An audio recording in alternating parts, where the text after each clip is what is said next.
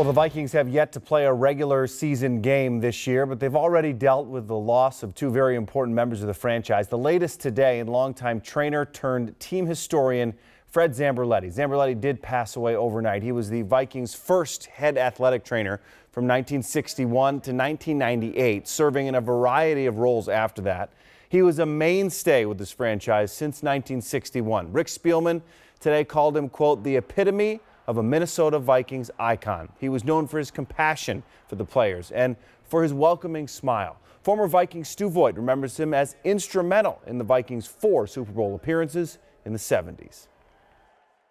His title was trainer for years, but he did so much more than that and meant yeah. so much more than that to all the individuals that touched him, whether it be players, coaches, people in the media like yourself.